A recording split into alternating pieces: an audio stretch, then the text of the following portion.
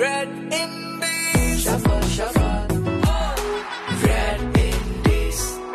Shuffle. Shuffle Chat. Diyatom Deb, you're a professional vocalist. What else do you do apart from music? From December last year, I was kind of looking for a job because the music wasn't happening. So I've, I've been really busy in the, the job, but I just want to spend time uh, with my wife and uh, uh, you know talk to my family members because I have not been in Shillong for over over one one and a half years now. What about your latest release? It was with uh, Barun. So we have a studio project called Breaths of Songs and Stories. So, what is the song about? The song is called Don't Leave Me Now. It's really about uh, seeing people losing uh, their loved ones. Uh, and there was this one really good friend of mine. He His father was in ICU for COVID. I was just working on the uh, piano uh, as I was talking to him, and I just started writing a tune. Whenever we talk about you, the stage comes up. Ah, okay. How was it? How was it, the experience? The stage was good. Like uh, I had a lot of good experiences, and you know, getting feedback from people like Ehsaan and Vishal, Monica, uh, Devraj.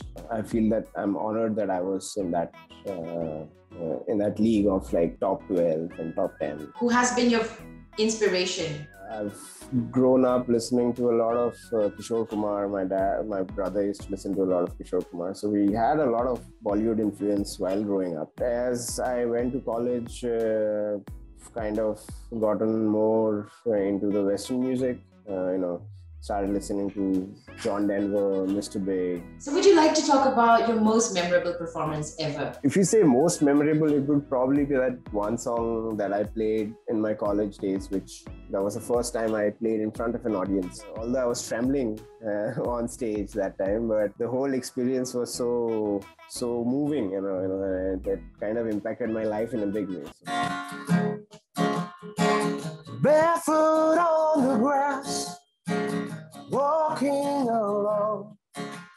As every corner of the city seems to wipe me out slow. Nobody knows the reason why I am here.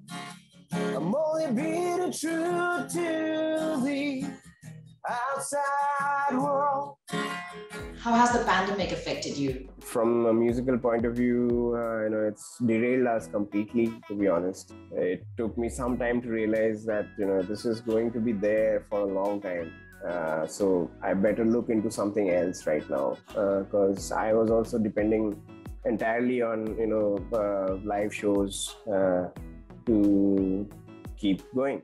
So, what would you like to say about this show or Red Indies Shuffle multi setting? amazing work guys and uh, especially during this time when uh, it's it's been hard uh, the fact that you guys are reaching out to artists and uh, getting their stories out it's just really something that i appreciate A short message for all the people out there listening to us right now. it's so important to take care of yourself and the people around you especially you know uh, it's it's been such a chaos that we can't really depend on the government for everything what we can do by ourselves is just take care of ourselves and the people around us that's all we can do Great, great. Thank you so much, Diyatom, once again. Thank you. Thank you, Indra. Thank you so much for inviting me.